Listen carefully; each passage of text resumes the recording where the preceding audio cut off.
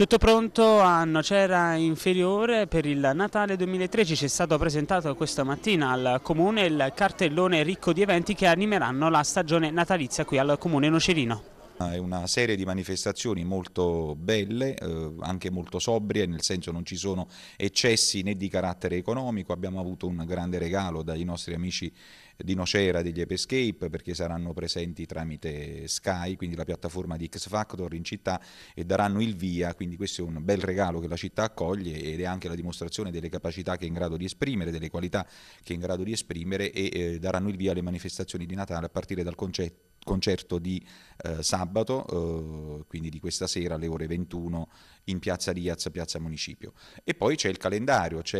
eh, questo bellissimo albero di Natale che per la prima volta raggiunge circa i 13 metri, quindi credo che è il più alto in, nel corso delle manifestazioni natalizie. Riga, ringrazio tutti gli sponsor che hanno partecipato e il eh, consigliere Antonio Zarrella che ha contribuito a raccogliere e promuovere le iniziative. Poi c'è stata la collaborazione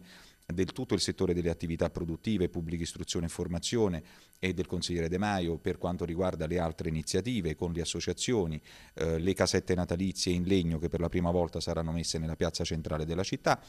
i commercianti che si stanno dando un grande affare, quindi venendoci incontro per quanto riguarda le luminarie in buona parte della città, anche se nei luoghi centrali saranno ovviamente a nostro carico. Abbiamo potuto fare grande economia quest'anno senza buttare decine e decine di migliaia di euro come si è fatto in passato e fare comunque un cartellone natalizio di tutto rispetto. Eh, ci saranno manifestazioni teatrali al Teatro Comunale di Ana, in altri eh, teatri amatoriali come ad esempio all'Oratorio San Domenico Savio, eh, con altri gruppi ed associazioni di, di, di carattere appunto culturale, ci sono occasioni per le attività commerciali, quindi di vedere la città arricchita, migliorata e più bella.